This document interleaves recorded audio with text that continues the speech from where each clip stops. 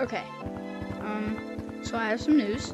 I'm not going to be able to upload for a couple, maybe even a few days, because I'm going on a trip to Missouri. I am not a quitter. Pocket full of glitter. Yarn balls. I'm a knitter.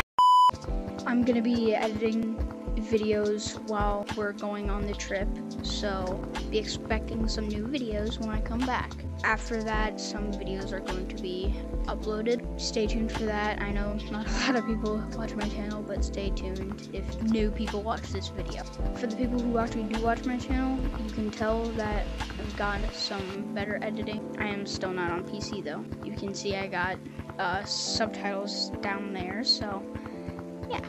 Subscribe, and I'll be back soon.